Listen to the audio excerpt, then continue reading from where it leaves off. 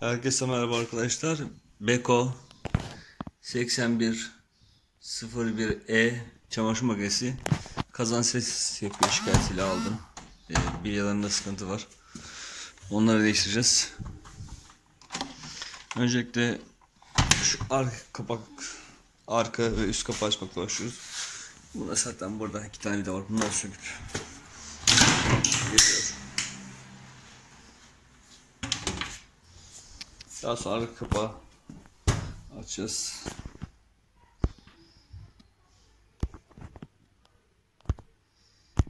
Arka kapağı açtık. Şimdi sırasıyla burada yapacağımız şu kablo kabloları yerinden çıkartacağız. Motoru yerinden alacağız. Ondan sonra arkasıyla işimiz bitiyor. Ondan sonra şu üst kapağı şuradaki vidaları sökerek ön panoyu alacağız. Ondan sonra şunu, şu ön sacı alacağız. Ondan işlem gerçekleşecek. Şu vidaları söküp bu taşı alacağız. Ledlerini çekmesini yerine çıkartacağız.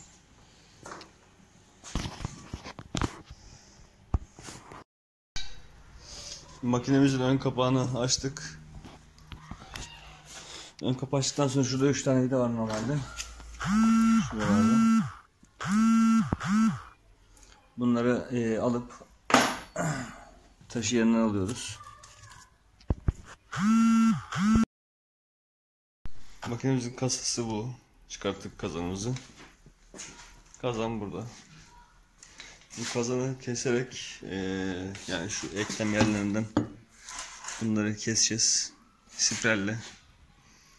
Ve bu şekilde ince spiral taşıyla yani inox e, spiral taşı dediğiniz zaman nalburlar verir. Onunla çok ince işçilik gerektiren bir şey bu. Şu aradan aldığımız zaman ince yavaş yavaş yavaş şu kalan yeri de destereyle yapacağız. Orada tekrar ben bir videosunu çekerim. Şu an kazanımızı ikiye ayırdık. Kestik, biçtik.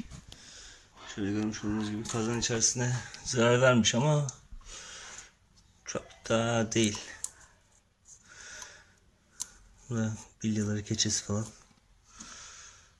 İşin en garip tarafı da rulman üzerinde kalmış şu an olduğu gibi. Bunu keseceğiz. Bir şekilde çıkartacağız. Bunda yapacak bir şey yok. Ama yazık günah yani. Ee, ta 6-7 senelik makinelerde bu şekilde kazan rulman arızası çıkması pek hoş durum değil. Ha, tamirci için iyi olabilir ama olmazsa daha iyi. Yani rızık bir şekilde kazanılır ama insanlar ee, zor kazanıyor parayı.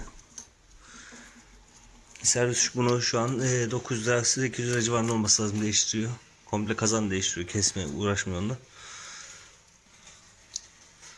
Biz rulmanlarını söküp bunları çıkartacağım yerinden.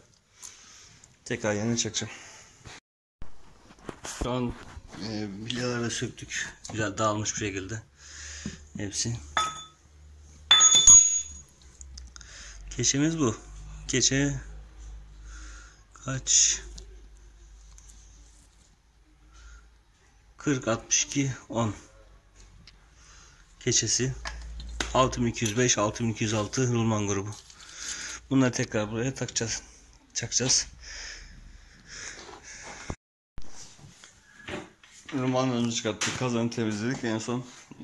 Buraya inceden bir zıpara çekiyoruz Ondan sonra falçatları şu kenarı temizleyip rulmanından çakıp başlayacağız.